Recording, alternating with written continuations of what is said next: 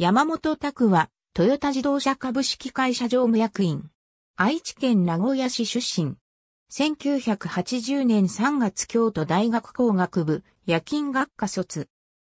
1982年3月京都大学大学院修了後、同年4月にトヨタ自動車工業に入社。ボディ設計部を経て、1984年から製品企画部門に移動。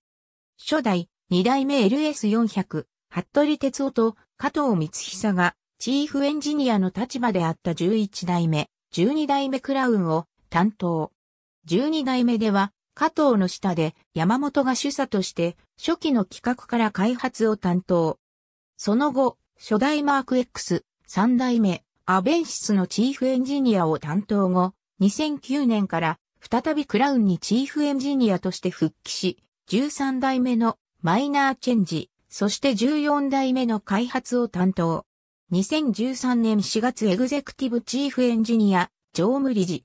2014年4月常務役員、レクサスインターナショナルエグゼクティブバイスプレジデント、製品企画本部統括。2016年4月レクサスインターナショナル CEO、エグゼクティブバイスプレジデント。2017年4月ミッド、サイズビヒクルカンパニーエグゼクティブバイスプレジデント、就任。山本によれば、前日の13代目クラウンからハイブリッドが登場したものの V63.5 リットルであったゆえに価格も比較的高額だったことから14代目のハイブリッドではユーザーの配慮も考え V6 を捨てて直列4気筒2.5リットルにすることを決断。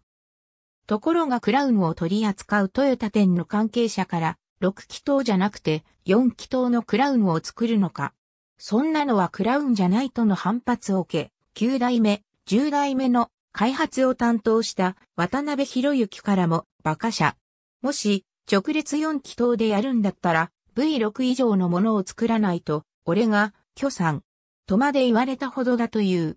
なお、似たような現象はマジェスタでも発生した。ありがとうございます。